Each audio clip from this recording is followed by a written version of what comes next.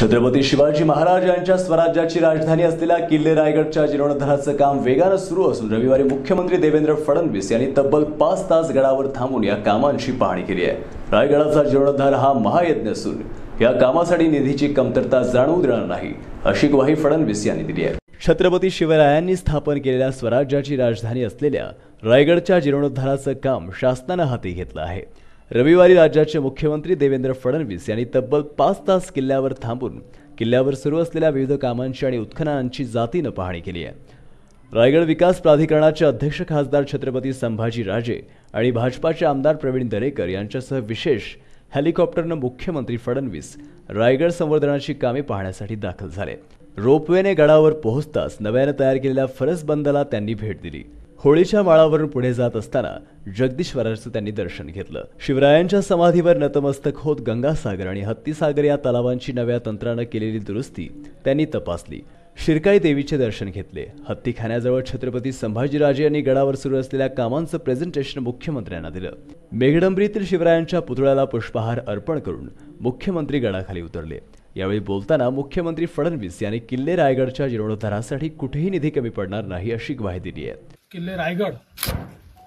या ठिकाणी तमाम शिवप्रेमींची आणि तमाम सर्व देशभक्तांची अशी मागणी होती की हा जो आमचा किल्ला आहे ही आमची जी राजधानी आहे याची जी दुरावस्था झाली आहे सरकारने त्याचं काम करावं आणि पुन्हा एकदा त्याला वैभव प्राप्त करून द्यावं. आणि याकरताच आम्ही छत्रपती संभाजीराजे यांच्या अध्यक्षतेखाली रायगड विकास प्राधिकरण तयार केलं. आणि राजांना ती सर्व जबाबदारी या ठिकाणी आम्ही दिली सर्व अधिकार देखील त्या ठिकाणी दिले. आणि आज झालेल्या कामाची पाहणी करण्याकरता या ठिकाणी मी आलो आणि छत्रपतींचे आशीर्वाद घेण्याकरता देखील आलो. आणि मला अतिशय आनंद आहे. अतिशय उत्तम काम या ठिकाणी झालेलं मला पाहायला मिळालं. मी या प्राधिकरणाचे अध्यक्ष छत्रपती संभाजीराजे इथले जिल्हाधिकारी इथली संपूर्ण टीम इथले आमचे सगळे लोकप्रतिनिधी या सगळ्यांचं मनपूर्वक अभिनंदन करतो की करोडो करोडो शिवभक्तांच्या मनामध्ये जे काम होतं ते काम आता या ठिकाणी होताना दिसत आहे आर्किओलॉजिकल सर्वे ऑफ इंडियाने देखील चांगलं काम या ठिकाणी सुरू केलं आहे त्या कामाची गती वाढली पाहिजे हा आमचा प्रयत्न आहे. जी मूळ या ठिकाणी येण्याची वाट होती ती अतिशय सुंदर प्रकारे रिस्टोर करण्यात आलेली आहे. अनेक नवीन वाडे या ठिकाणी आता जवळजवळ मला सांगण्यात आलं की तीनशे वाडे या ठिकाणी सापडलेले आहेत. दोन वाड्यांचं आतापर्यंत त्या ठिकाणी एस्केवेशन झालं आहे अनेक मौल्यवान आणि ऐतिहासिक अशा वस्तू त्या ठिकाणी सापडत आहेत. आता पावसाळ्यानंतर मोठ्या प्रमाणात या वाड्यांचं एस्केवेशन करून त्या ठिकाणी देखील काम ए एस आयच्या माध्यमातून केलं जाणार आहे. आणि त्यासोबत प्राधिकरणाच्या माध्यमातून जे काम आहे ते अत्यंत वेगानं चाललेलं आहे.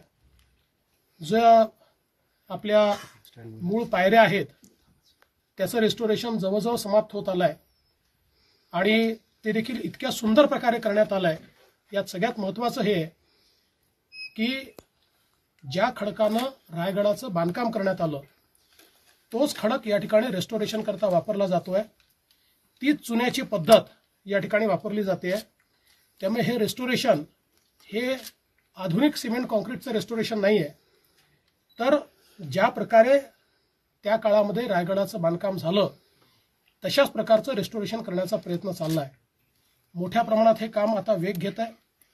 रस्त्यांची कामं देखील सुरू झाली आहे. खाली देखील जवळजवळ पन्नास एकर जमीन याचं ॲक्विशन जवळजवळ समाप्त झालं आहे समाप्तीला आलं आहे अजून वीस एकर जमीन ही आपण त्या ठिकाणी ॲक्वायर करतोय. लोकांचं देखील अतिशय चांगलं समर्थन याच्यामध्ये मिळत आहे नागरिक देखील त्यात सहभाग घेत आहे आणि मला असं वाटतं की शिवप्रेमींचा सहभाग संपूर्ण जनतेचा सहभाग आणि या ठिकाणी हे जे काही एक कार्य सुरू झालेलं आहे एक जसा स्वराज्याचा महायज्ञ होता तशाच प्रकारचा हा स्वराज्याच्या राजधानीचा एक महायज्ञ हा या ठिकाणी सुरू झाला आहे आणि म्हणून या संपूर्ण कामावर मी समाधान व्यक्त करतो. या कामाला निश्चित वेळ लागणार आहे. याचं कारण हे काम साध्या कामासारखं नाही आहे यातलं प्रत्येक काम केल्यानंतर त्याचं सर्टिफिकेशन घ्यावं लागतं. ए एस आयच्या माध्यमातून त्याची सुपरविजन करून घ्यावी लागते.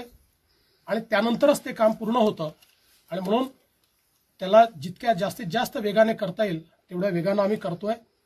आणि सगळ्यात महत्त्वाचं मी राजेंना या ठिकाणी अतिशय स्पष्टपणे सांगितलं आहे की कुठल्याही परिस्थितीत याकरता निधीची कमतरता आम्ही पडू देणार नाही. पाहिजे तेवढा निधी या ठिकाणी आम्ही देऊ. सहाशे सहा कोटी रुपयाचा आराखडा आपण मंजूर केला आहे त्याला ज्या ज्या टप्प्याने निधी लागेल तो निधी आपण देतो आहे आणि त्यातनं येत्या काळामध्ये अतिशय सुंदर अशा प्रकारचं काम या ठिकाणी होणार आहे. जो रोपवे या ठिकाणी येतोय तो रोपवे देखील आधुनिक करण्याचं काम. हे देखील आता एकदा एस आयची परमिशन मिळाली की ते देखील करण्यात येणार आहे. आणि त्या माध्यमातनं मला असं वाटतं की सगळ्या सोयीसुविधा देखील या ठिकाणी येतील. ज्यातनं महाराष्ट्रातले आणि देशातले सर्व लोक या ठिकाणी येऊ शकतील आणि स्वराज्याची राजधानी या ठिकाणी येऊन छत्रपतींचा आशीर्वाद आणि छत्रपतींची ऊर्जा या ठिकाणी घेऊ शकतील. मी या आमच्या प्राधिकरणाचं अतिशय मनपूर्वक या ठिकाणी अभिनंदन करतो. महानगर न्यूज ब्युरो अहमदनगर.